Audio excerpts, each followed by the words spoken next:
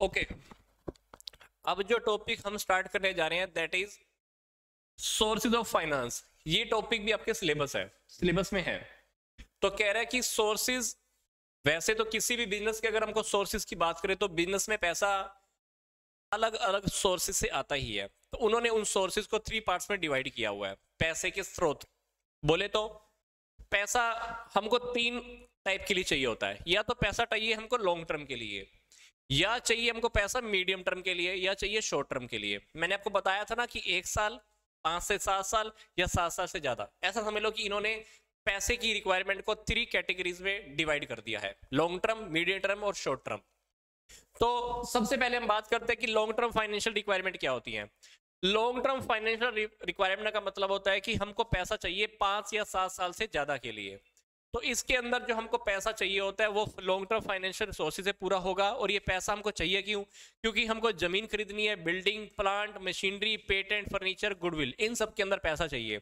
तो इसके अंदर जो पैसा चाहिए, उसको हम बोलते हैं एक लॉन्ग टर्म फाइनेंशियल रिक्वायरमेंट तो जो मिनिमम इन्वेस्टमेंट इसमें चाहिए ना, उसको हम बोलेंगे लॉन्ग टर्म तो such requirement should be met from the long term sources such as the shares debentures loan specialisation financial institution तो ये जो पैसा आएगा, वो पैसा हमको कहाँ कहाँ से मिल सकता है? वो पैसा हमको शेयर्स के थ्रू डिबेंचर के थ्रू लोन्स के थ्रू फाइनेंशियल इंस्टीट्यूशन के थ्रू इन सबसे मिल सकता है। तो ये पैसा डेफिनेटली हम कहाँ लगाने वाले हैं? लैंड में, बिल्डिंग में, प्लांट में, फर्नीचर में, मशीनरी में पेटेंट गुडविल में। अब आगे क्या कह रहा है? ध्यान से देखो। The minimum investment in the current assets known as the permanent working capital is also a long term requirement. मतलब कभी कभी क्या होता है कि करंट एसेट्स के अंदर एक मिनिमम अमाउंट करंट एसेट्स में भी हमारा एक मिनिमम अमाउंट फंसा रहता है। तो जो मिनिमम अमाउंट हमारा करंट एसेट में फंसा रहता है ना तो उसको भी ये क्या कह रहा है? Long term financial requirement yes long term financial requirement क्योंकि फिक्स एसेट में तो पैसा फंसा ही रहता है। इसी तरह से ही करंट एसेट्स में भी जो पैसा हमारा हमेशा मिनिमम एक जो फंसा रहता है, उसको भी हम कह सकते कह सकते हैं लॉन्ग टर्म फाइनेंशियल रिक्वायरमेंट या जिसको हम कह सकते हैं परमानेंट वर्किंग कैपिटल तो करंट एसेट्स में जो पैसा हमारा एक मिनिमम फंसा रहता है, उसको हम बोलते हैं परमानेंट वर्किंग कैपिटल अब हम बात करते हैं कि हमारी ये short term medium term requirement कौन सी होती है? तो मीडियम टर्म फाइनेंशियल रिक्वायरमेंट के अंदर, हमारे पास आएगा वो पैसा जो हमें चाहिए पाँच साल से लेकर सात साल तक के लिए। ऐसा समझ लीजिए कि पाँच साल से ज़्यादा, पाँच साल से सात साल तक जो पैसा चाहिए वो हमको चाहिए। ये पैसा हमको क्यों चाहिए होता है? मशीनरी या एसेट्स को रिप्लेस करने के लिए रिसर्च या डेवलपमेंट के लिए एडवर्टाइजमेंट के ऊपर बहुत बड़ा खर्चा करना है इसके लिए। अब ये पैसा आएगा कहाँ से?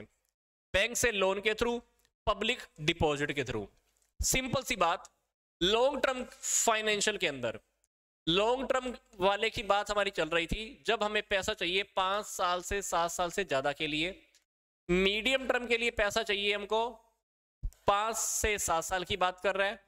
शॉर्ट टर्म फाइनेंशियल रिक्वायरमेंट का मतलब क्या? एक साल या एक साल से कम के लिए रिक्वायरमेंट पैसा चाहिए। तो यहाँ पर अभी हम बात कर रहे थे मीडियम टर्म मीडियम टर्म के लिए जो हमारे पैसे की रिक्वायरमेंट होती है, वो क्यों होती है?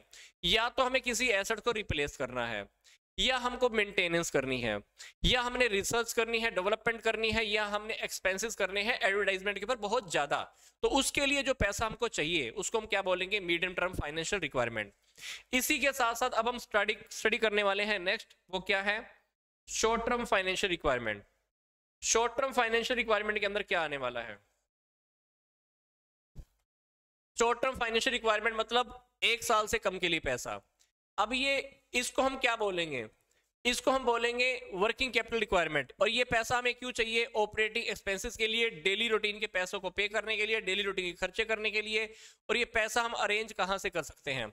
शॉर्ट टर्म एडवांसी से कॉमर्शियल पेपर से क्रेडिट परचेज से कस्टमर से, या बैंक के थ्रू अब ये पैसा आएगा तो इस पैसे का हम यूज़ कहाँ पे कर सकते हैं? कैश मेंटेनेंस में इन्वेंट्री के लिए रिसीवेबल्स के लिए डेटर्स में पैसा फंसाने के लिए तो इन सारी पैसों की रिक्वायरमेंट के लिए जो पैसा हमको चाहिए, उस पैसे को हम बोलेंगे short term financial requirement short term financial requirement के जो सोर्सेज हैं, वो क्या है?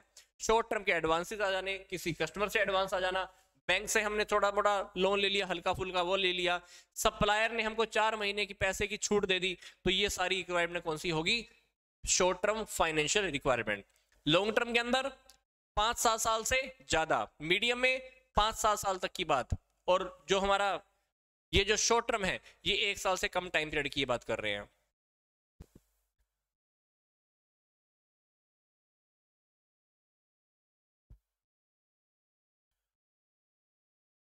कविता में इसीलिए पहले से ही हम फोल्डर का नेम डिसाइड कर देते हैं ना कि कौन सा सब्जेक्ट करा रहे हैं। तो इसलिए अगर हम एक साथ सब्जेक्ट नहीं करवा रहे हैं, फिर कुछ बच्चों का ये भी चल रहा है कि सर, एक ही बुक स्टार्ट है, एक ही टॉपिक स्टार्ट है। तो इसीलिए भी जो है बस एक्सेप्ट करते चलो। क्योंकि पैरलर बाय पैरलर काफ़ी सारे सब्जेक्ट है ना।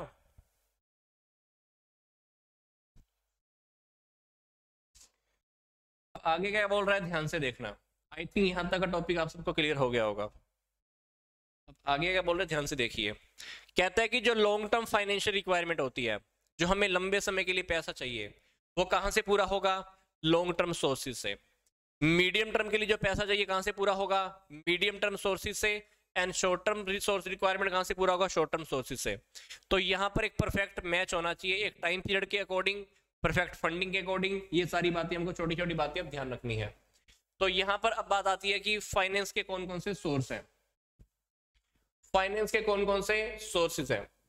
तो जब हम बात कर रहे हैं लॉन्ग टर्म सोर्सेज की, अगर हम बात करें कि लॉन्ग टर्म के लिए अगर हमको पैसा चाहिए तो कहाँ कहाँ से आएगा? ये आता है हमारा ओन्ड कैपिटल खुद के पैसे से। बोले तो equity share capital preference share capital और प्लगिंग बैक ऑफ़ प्रॉफिट मतलब जो प्रॉफिट हमने बचा के रखे हुए थे, उन्हीं प्रॉफिट को हम वापस क्या कर रहे हैं? बिज़नेस में इन्वेस्ट कर रहे हैं। That is plugging back of profits फिर लॉन्ग टर्म सोर्सेज के अंदर हम पैसा बाहर से उधार भी ले सकते हैं। Like in the form of debentures like in the financial institution से पैसा ले लेना या किसी से लीज करा लेना तो ये सारा पैसा कौन सा हो गया? लॉन्ग टर्म सोर्सेज के थ्रू अब बात करते हैं कि ये जो मीडियम टर्म सोर्सेज से पैसा कहाँ कहाँ से आता है? ये पैसा आता है पब्लिक डिपॉजिट से मीडियम टर्म लोन से या कॉमर्शियल बैंक के थ्रू फिर तीसरी बात क्या है? Short term sources of finance short term मतलब एक साल से कम वक्त के लिए पैसा कहाँ से आता है? Commercial bank trade credit commercial paper advances from customer या अक्रूड एक्सपेंसेस ये सारी की सारी बातें किसी में आ गई शॉर्ट टर्म के अंदर. तो यहाँ पर अभी हमने कौन सा टॉपिक देखा? जो फाइनेंस के जो तीन सोर्सेज होते हैं लॉन्ग टर्म मीडियम टर्म और शॉर्ट टर्म इन तो तीनों के अंदर हमने थोड़ा सा और आगे डिटेल में बात की है. लॉन्ग टर्म के कौन कौन से सोर्सेज है? मीडियम टर्म के और शॉर्ट टर्म के. हम थोड़ा सा, इसको थोड़ा सा और डिटेल में देख लेते हैं. मैंने इसको थोड़ा सा और एलिब्रेट किया हुआ है।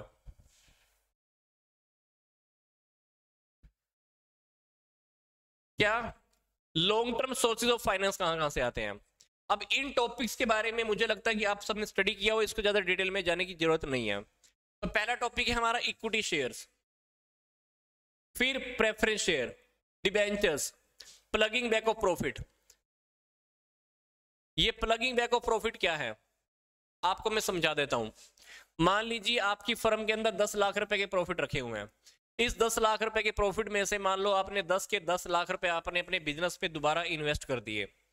दस लाख रुपए आपके पास प्रॉफिट रखे हुए हैं, वो प्रॉफिट आपने अपने बिज़नेस में वापस इन्वेस्ट कर दिए तो उसको हम बोलेंगे plugging back of profit profits को आपने वापस खींच लिया। ऐसा भी हो सकता है कि दस लाख रुपए में से आपने आठ लाख रुपए अपने बिज़नेस में वापस लगा दिया। दो लाख रुपए आपके पास अभी भी रखा हुआ है। That's also a plugging back of profit ऐसा भी होता है। ये पैसा आप अपने बिज़नेस में यूज़ कर सकते हो, क्योंकि आपका ही है। ये स्पेलिंग गलत लिखी गई है सिक्स नंबर पे। ये होनी चाहिए थी लीज लीज फाइनेंसिंग जैसे आप किसी से प्रॉपर्टी लीज पे ले लेते हो, पट्टे पे ले लेते हो, भाई 20 साल के लिए प्रॉपर्टी तेरी मेरे नाम पे लिख दे, हर महीने पैसा ले लियो या मोटा अमाउंट भी एडवांस में पे कर देता हूँ दैट इज़ लीज फाइनेंसिंग आपने मार्केट में या काफ़ी जगहों पे देखा होगा कि काफ़ी सारी दुकानें लोगों ने बहुत पुरानी, पुराने टाइम की ले रखी है, बीस बीस, पचास पचास साल से दुकान उधार पे ले रखी है। उसको हम बोलते हैं लीज फाइनेंसिंग जब हम लीज फाइनेंसिंग करते हैं तो स्टार्टिंग में तो एक अमाउंट जाता ही है, हर महीने भी उसको सामने वाले को किराया जाता ही है। तो दैट इज़ लीज फाइनेंसिंग पट्टे पर संपत्तियाँ भी बोलते हैं इसको। क्या पट्टे पर संपत्तियाँ? तो लॉन्ग टर्म सोर्सेज फाइनेंस के क्या है? Equity share preference share debentures long term plugging back of profit loan from financial institution and lease financing spelling में फिर से लिख रहा हूँ। L E A S A lease financing medium term के अंदर पैसा कहाँ कहाँ से आएगा? पब्लिक डिपॉजिट के थ्रू या कॉमर्शियल बैंक से हम मीडियम टर्म लोन ले लेते हैं। Short term sources of finance कौन से हैं? बैंक। कस्टमर से advance. Accrued expenses. Loan from directors. In corporate deposit. तो यहाँ से भी हमारा कहीं ना कहीं शॉर्ट टर्म के लिए पैसा हमारे पास आ सकता है। बैंक के जब आप पास जाते हो तो बैंक भी आपको छोटे वक्त का उधार दे देता है। है ना? इसी तरह से कस्टमर ने आपको एडवांस पैसा दे दिया वो भी आपका पैसा काम ही आ रहा है। सप्लायर ने आपसे पेमेंट पाँच महीने के बाद मांगी तो पाँच महीने तो आपने उसका पैसा यूज़ किया तो वो भी शॉर्ट टर्म के अंदर। या आपने डायरेक्टर से पैसा उधार ले लिया, या कंपनी के आपने जो भी डायरेक्टर होते हैं उनसे पैसा उधार ले लिया, या इंटर कॉर्पोरेट डिपॉजिट होते हैं कंपनी जो आपस में डिपॉजिट कराती रहती है, एक दूसरे को बेनिफिट देती रहती है तो वो भी आप यूज़ कर सकते हो। तो यहाँ पर मैंने आपको शॉर्टकट में बता दिया है long term sources of finance medium term and the short term sources of finance तो यहाँ तक का टॉपिक क्लियर हो गया है तो मैं आगे चलने वाला हूँ अभी। तो जल्दी से कमेंट करके बताओ। Is it clear plugging back of profit का मतलब है कि हमारे बिज़नेस में दस लाख रुपए रखे हुए हैं प्रॉफिट के। हमने बचा के रखे हुए थे। उसमें से मान लो मैंने दस के दस लाख रुपए अपने बिज़नेस में वापस इन्वेस्ट कर दिया। मेरे ही बिज़नेस में मेरे ही पैसे रखे थे साइड में। वो पैसा उठाकर मैंने मेरे बिज़नेस में लगा दिया। That is plugging back of profits पूरा लगा दो, तब भी उसमें से आपने आठ लाख लगा दिया, सात लाख लगा दिए। तो जितना लगाया, उसको हम क्या बोलेंगे? प्लगिंग बैक ऑफ़ प्रॉफिट्स उसको हम रिटेन्ड अर्निंग भी बोलते हैं। क्या बोलते हैं? रिटेन्ड अर्निंग बताओ, यहाँ तक का टॉपिक क्लियर है तो आगे मैं चलता हूँ फिर।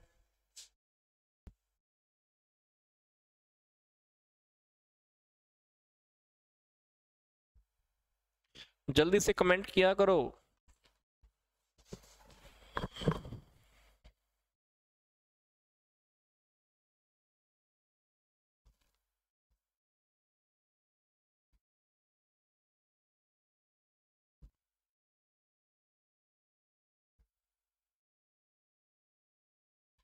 अपने ही प्रॉफिट को दोबारा इन्वेस्ट करना राइट कोई था?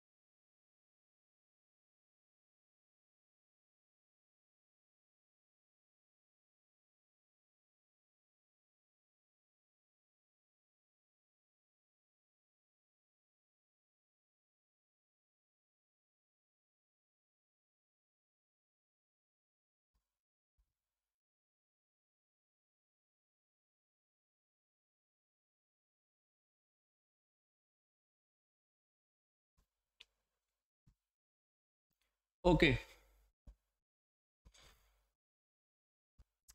अब हम चल रहे हैं हमारे नेक्स्ट टॉपिक की ओर। That is cost of capital topic बहुत इजी है, ध्यान से देखना होगा। आप जल्दी समझ पाएँगे इसको। कॉस्ट ऑफ़ कैपिटल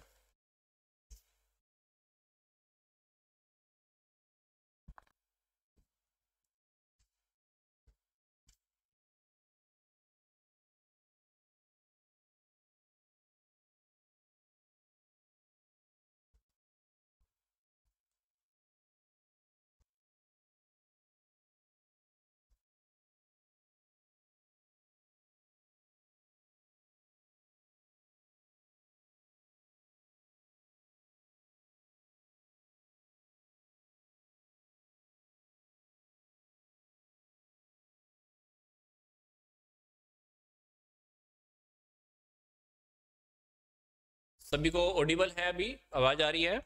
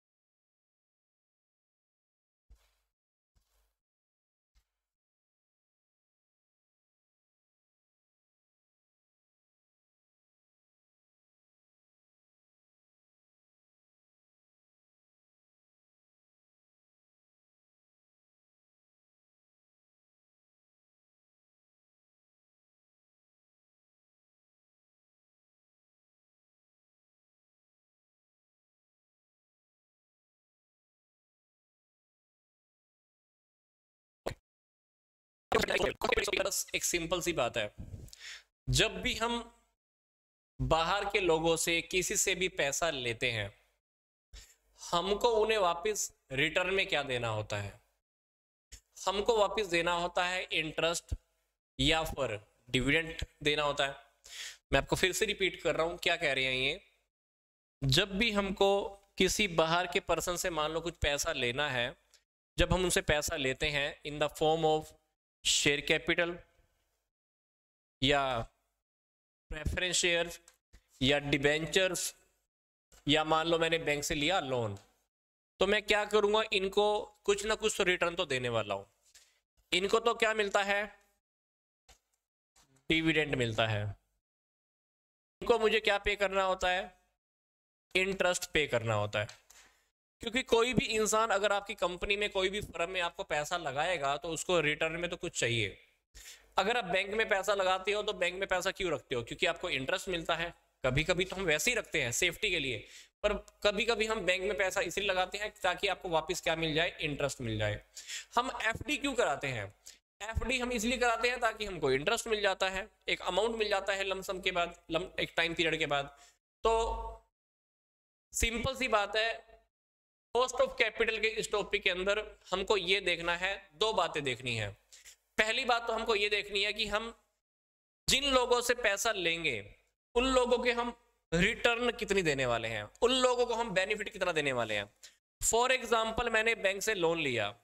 बैंक से लोन लिया और मैंने इंटरेस्ट पे करना है आठ परसेंट का।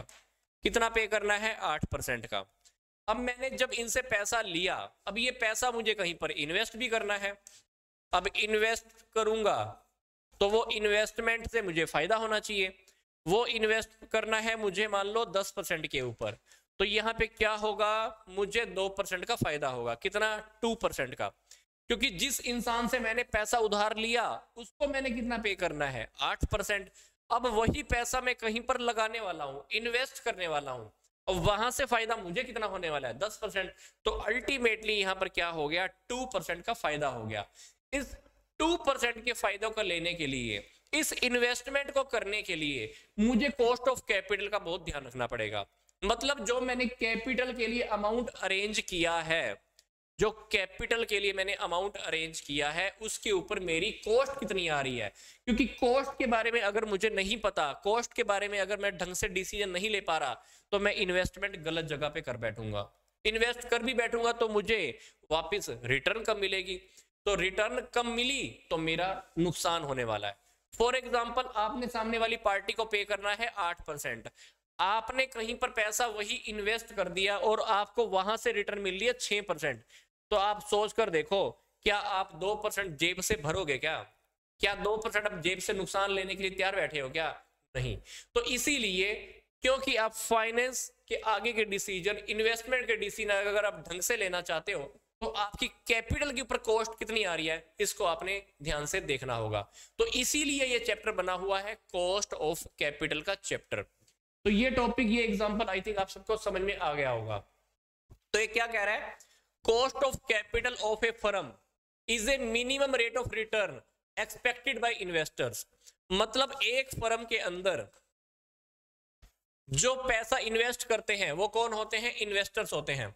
अब इन्वेस्टर्स को इस फर्म से एक उम्मीद है।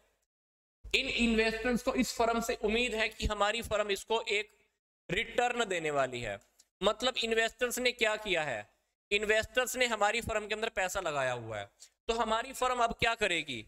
इन लोगों को एक रिटर्न देने वाली है इनके पैसे के ऊपर। तो इन्वेस्टर्स को हमारी फर्म से रिटर्न की जो उम्मीद है, उसको हम क्या बोलेंगे? कॉस्ट ऑफ़ कैपिटल तो capital used by the firm in the form of equity share preference share depth and the retain earning तो कॉस्ट ऑफ़ कैपिटल क्या है? Is the weightage average cost of the the sources of the finance used by the firm तो concept of the cost of capital जो cost of concept जो cost of capital का जो concept है ना, उसका फाइनेंशियल मैनेजमेंट के अंदर एक बहुत बड़ा रोल है।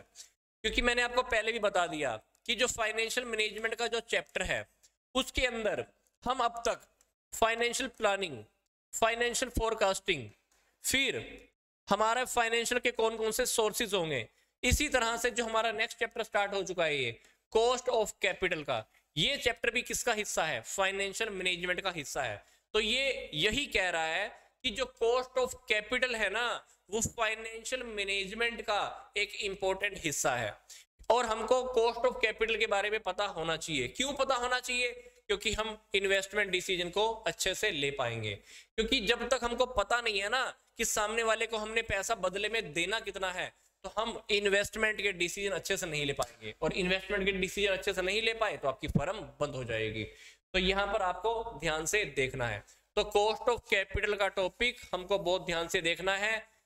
मार्केट वैल्यू भी शेयर्स की हमें देखनी होती है। तो ये सिंपल सा टॉपिक था जिसको मैंने बताया कॉस्ट ऑफ़ कैपिटल का। तो आप सबसे पहले तो मैं ये पूछना चाहता हूँ कि कॉस्ट ऑफ़ कैपिटल का जो मैंने कॉन्सेप्ट समझाया है, क्या आप सबको क्लियर हो गया क्या? क्योंकि ये जो आगे के टॉपिक है, वो कॉस्ट ऑफ़ कैपिटल से ही कनेक्टेड है। तो पहले तो यहाँ तक के मुझे कमेंट करके बताओ टॉपिक यहाँ तक का क्लियर है? Should I continue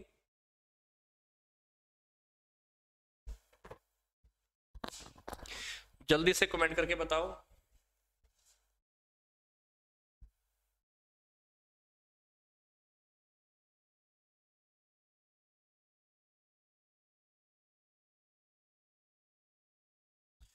cost of capital का जो मैंने मीनिंग बताया डेफिनेशन बताया एग्ज़ाम्पल बताए, सब क्लियर हो गए क्या? किसी को कुछ पूछना है तो बताओ, फिर मैं आगे टॉपिक को कंटिन्यू करता हूँ, नहीं तो।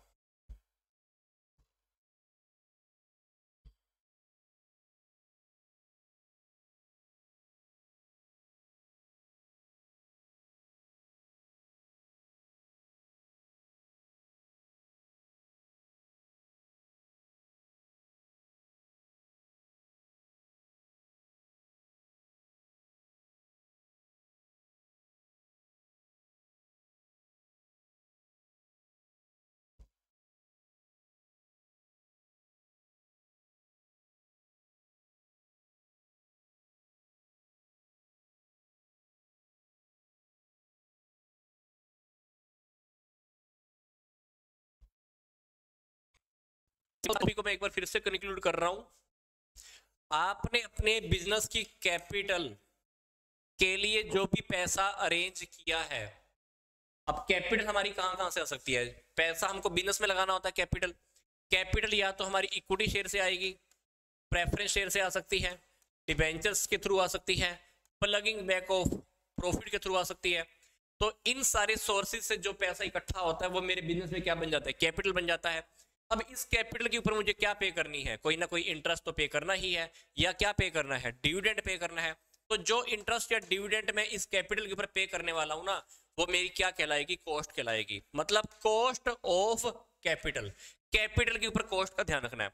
अब कैपिटल के ऊपर जो कॉस्ट पे कर रहे हो, वो है आपकी मान लो दस परसेंट। आपने इस कैपिटल के ऊपर कॉस्ट पे करनी है दस परसेंट। और यही कैपिटल अब अगर आपने कहीं पर और कहीं पर इन्वेस्ट कर दी इन्वेस्टमेंट किया आपने 12 परसेंट के ऊपर तो अल्टीमेटली आप जो कॉस्ट पे कर रहे हो ठीक ही पे कर रहे हो।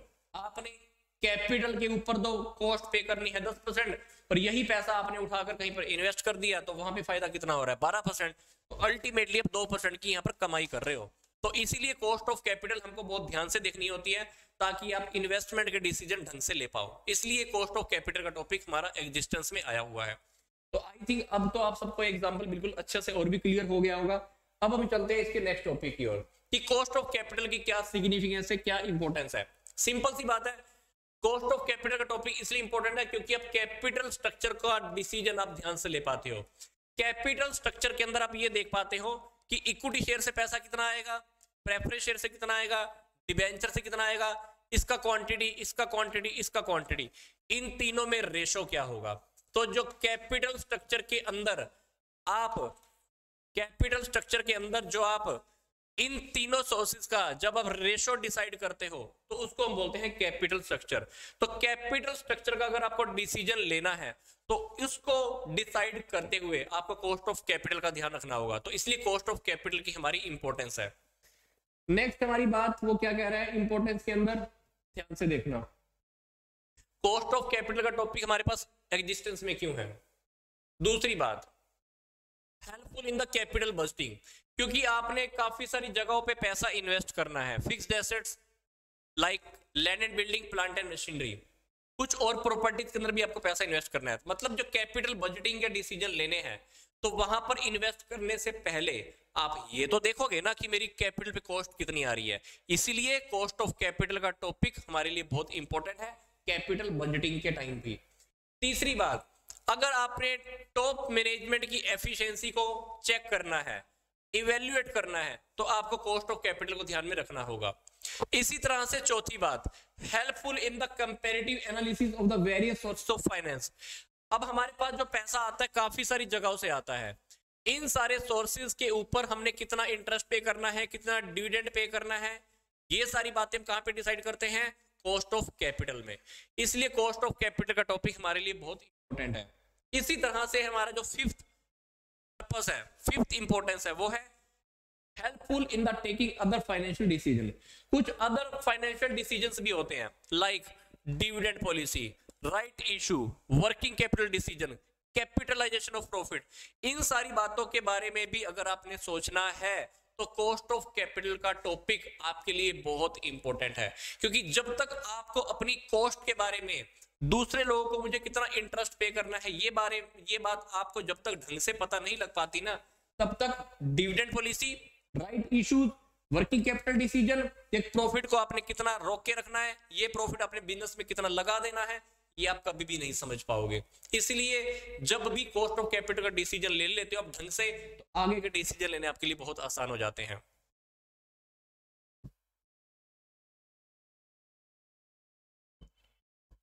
आगे का टॉपिक देखिए factor affecting cost of capital तो जब भी आप कॉस्ट ऑफ़ कैपिटल के टॉपिक की बात करोगे तो आपको यह भी ध्यान में रखना होता है कि हमारी कौन कौन से फैक्टर इफ़ेक्ट कर रहे हैं।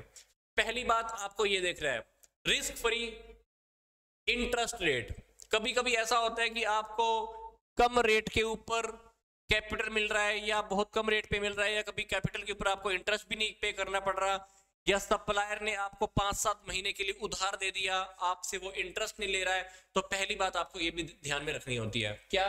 रिस्क फ्री इंटरेस्ट रेट तो risk free interest rate is the interest rate on the risk free and the default free securities. For example securities issued by government of india are the risk free and the default free for the payment of the periodic interest and also the principal amount on the maturity तो कुछ कुछ चीज़ें ऐसी होती हैं government ने मान लो आपको कोई सर्विस दे रखी है गवर्नमेंट ने आपको बोल दिया कि भाई पैसा ले ले उसके बदले में मेरे को इंटरेस्ट भी मत दियो तो वो पैसा आपने कहाँ पे यूज़ किया बिज़नेस में यूज़ किया क्या करने के लिए पेमेंट देने के लिए तो ये सारी बातें भी आपको डिसाइड करा देंगी कि कॉस्ट ऑफ़ कैपिटल आपको रखना है, नहीं रखना है, कितना रखना है, नहीं रखना है, ये सारी बातें आपकी कॉस्ट ऑफ़ कैपिटल के अंदर आपकी आ जाती हैं। तो मतलब ये जो पहला टॉपिक है, ये भी इफ़ेक्ट करती है किसको? कॉस्ट ऑफ़ कैपिटल को। दूसरी बात वो क्या कह रहा है? बिज़नेस रिस्क तो बिज़नेस रिस्क को भी ध्यान रखना होता है। अगर बिज़नेस रिस्क ज़्यादा है तो आपकी कॉस्ट ऑफ़ कैपिटल ज़्यादा आने वाली है। बिज़नेस में रिस्क कम है तो इन्वेस्टर्स आपके बिज़नेस में पैसा बहुत आसानी से लगा देंगे और उनको आपको इंटरेस्ट भी के पे कम करना पड़ेगा। तो ये बातें भी मैटर करती हैं। अगली बात फाइनेंशियल रिस्क फाइनेंशियल रिस्क अगर आपका ज़्यादा है तो ये मैटर भी आपके ऊपर बहुत डिपेंड करेगा कि आप लोगों को टाइम पर पेमेंट करते हो, नहीं करते हो। लोगों को प्रिंसिपल अमाउंट टाइम पर दे देते हो, नहीं दे देते हो इंटरेस्ट टाइम पर पे करते हो कि नहीं करते हो डिविडेंड टाइम पर पे करते हो कि नहीं करते हो तो इससे भी आपकी कॉस्ट ऑफ़ कैपिटल इफ़ेक्ट होती है। अगली बात है नेचर ऑफ़ बिज़नेस अगर आपके बिज़नेस में लंबे समय तक पैसा नहीं आता तो रिस्क ज़्यादा है। रिस्क ज़्यादा है तो कॉस्ट ज़्यादा है। अगर आपका बिज़नेस में रेगुलर रूटीन में पैसा आता रहता है तो पैसा आपके पास ज़्यादा रहेगा। पैसा ज़्यादा रहेगा तो रिस्क कम रहेगा। रिस्क कम रहेगा तो कैपिटल पे कॉस्ट कमाने वाली है। Next, requirement of the fund. A firm require the large amount of the fund, it will have a bear the higher cost of the capital. अगर हमारे पास फंड्स की रिक्वायरमेंट ज़्यादा है आपको मान लो खड़े पैर पे पैसा चाहिए आपको मान लो खड़े पैर पे पैसा चाहिए तो सामने वाला क्या करता है कभी कभी इंटरेस्ट ज़्यादा ले लेता है तो यार दोस्त है बात अलग है आपको उधार दे देता है इंटरेस्ट भी नहीं लेगा अदरवाइज़ लोग क्या करते हैं? मजबूरी का फ़ायदा उठाते हैं। तो मान लो आपको पैसे की ज़रूरत है, बहुत बड़े पैसे की ज़रूरत है और खड़े पैर पे चाहिए तो आपको कॉस्ट ज़्यादा पे करनी पड़ सकती है। अदरवाइज़ कम।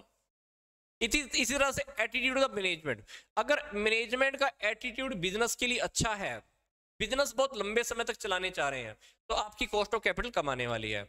अगर मैनेजमेंट का एटीट्यूड नहीं, ऐसा नहीं है अच्छा नहीं है, लोगों को सपोर्ट नहीं करते इन्वेस्टर्स को पैसा रिटर्न नहीं करते, या लोगों को डिविडेंड नहीं पे करते तो आपको कैपिटल के ऊपर कॉस्ट ज़्यादा पे करनी पड़ सकती है। तो मैनेजमेंट का एटीट्यूड भी डिपेंड करता है डिसाइड करवा देता है कि आपकी कॉस्ट ऑफ़ कैपिटल कैसी होगी, कैसी नहीं होने वाली है। अगली बात है कि कॉस्ट ऑफ़ कैपिटल के अंदर कौन कौन सी प्रॉब्लम्स आती हैं। कॉस्ट ऑफ़ कैपिटल में सबसे बड़ी प्रॉब्लम आती है historic cost and future cost कभी कभी हमारी क्या कॉस्ट रही और फ्यूचर के अंदर क्या कॉस्ट होने वाली है? ये हम डिसाइड नहीं कर सकते और कहीं ना कहीं हम फेल भी हो जाते हैं। तो ये पहली प्रॉब्लम है हमारी कॉस्ट ऑफ़ कैपिटल डिसाइड करने के अंदर कि पास्ट की कॉस्ट और फ्यूचर की कॉस्ट हमें नहीं पता होती तो वहाँ पर हम फेल हो जाते हैं। इसी तरह से problem in the competition of the cost of equity कभी कभी इक्विटी के ऊपर कितनी कॉस्ट आएगी, हमको पता नहीं होती, क्योंकि इक्विटी के थ्रू हम पैसा ले तो लेते हैं, पर कितना पैसा पे करना पड़ेगा वापस पता नहीं होता तो वहाँ पर भी प्रॉब्लम हमारी दूसरी आती है। तीसरी problems in the competition of the cost of retain earning अब जो पैसा मैंने प्रॉफिट की फॉर्म में रोक के रखा हुआ था, खुद के पास साइड में रखा हुआ था, अब उसके ऊपर मुझे कितनी कॉस्ट पे करनी है, ये तो मैं डिसाइड नहीं कर सकता ना। जो पैसा आपका खुद का है, पड़ा हुआ है घर के अंदर ही, उस पैसे के ऊपर वो पैसा अगर आप खुद के बिज़नेस से वापस लगा दो तो उसकी लागत कैसे पता करोगे? क्योंकि अगर आप किसी से बाहर से पैसा उठाते, वो तो आपको बता देता कि भाई मेरे को इतना इंटरेस्ट चाहिए। अब घर के पड़ा, घर के अंदर रखा हुआ पैसा आप अपने बिज़नेस में लगा रहे हो तो उसके ऊपर कॉस्ट कैसे डिसाइड करे? ये डिसीज़न लेना बहुत टेढ़ा काम है, मुश्किल काम है। इसी तरह से है problem in the assigning weightage तो वेटेज को असाइन करना बहुत टेढ़ा काम होता है कि इक्विटी के ऊपर कितना डिविडेंड लेके चलूँ। प्रेफरेंस के ऊपर डिविडेंड कितना मानकर चलूँ। डिबेंचर्स के ऊपर इंटरेस्ट कितना हो सकता था और होगा। इसी तरह से आपने कहीं से लोन लिया, मान लो। तो लोन के अकॉर्डिंग भी अगर आपने इंटरेस्ट पे करना है तो कितना होगा? ये सारे डिसीज़न भी सोचना। आपके लिए कहीं ना कहीं टेढ़ा काम होता है। वेटेज देनी मुश्किल होती है। आप पहले से ही कुछ डिसाइड नहीं करा सकते हो। तो कुछ काम बहुत टेढ़े टेढ़े होते हैं, इसलिए कॉस्ट ऑफ़ कैपिटल कि आपकी लिमिटेशन कहीं ना कहीं बन जाती है। अगला जो टॉपिक हम डिस्कस करने जा रहे हैं दैट इज़ कैपिटल स्ट्रक्चर तो कैपिटल स्ट्रक्चर का अगर आपको टॉपिक देखना है, समझना है तो पहले तो मुझे ये बताओ कि यहाँ तक का टॉपिक जो मैंने समझाया क्या एक सबको क्लियर हो गया क्या? वैसे कैपिटल स्ट्रक्चर की बहुत सारी बातें मैं आपको ऑलरेडी बता चुका हूँ। तो कैपिटल स्ट्रक्चर का टॉपिक हमारा बहुत जल्दी कवर हो जाएगा।